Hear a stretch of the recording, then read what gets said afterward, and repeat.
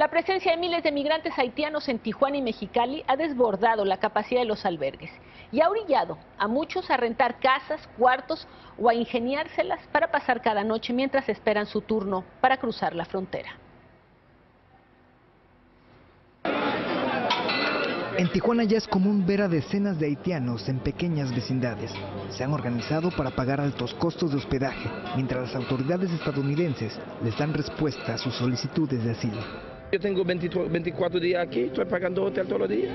Si tú estás contando 20, 20, días o 22 días a 10 dólares, ¿cuánto dinero no está ganando aquí? Aparte de comida está comprando. Estamos ubicados en la calle Negrete del centro de la ciudad de Tijuana. En pequeños cuartos como estos nos indican que viven aproximadamente 15 personas. Al fondo de esta pequeña casa, las condiciones de higiene son precarias. Nos indican que a la semana llegan a pagar hasta 300 dólares. Los que no pueden pagar esta cantidad tienen otras opciones. Establecimientos como el Hotel del Migrante en Mexicali han adaptado espacios de hasta 2 por 2 metros en su azotea.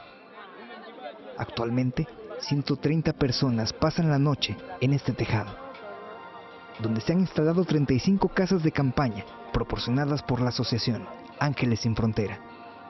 Tenemos que marcarlos para saber exactamente también, porque pues, van llegando, a veces nos tienen de a dos o a veces hasta de a tres. Ante la saturación del hotel, los dueños optaron por brindar este apoyo, ya que a muchos migrantes se les acabó el dinero y buscan evitar que la necesidad los obligue a cometer delitos.